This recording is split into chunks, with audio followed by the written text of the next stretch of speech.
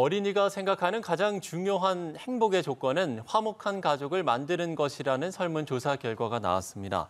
초등교사 노동조합이 전국 초등학교 고학년 7천여 명을 대상으로 설문조사를 실시한 결과 어린이들은 행복의 조건 1위로 화목한 가족을, 2위는 꿈을 이루는 것을 꼽았습니다.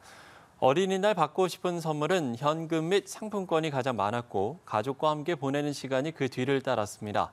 또한 어린이들은 가정에서 가장 어려운 걸로 학원 숙제와 공부량이라고 답한 것으로 나타났습니다.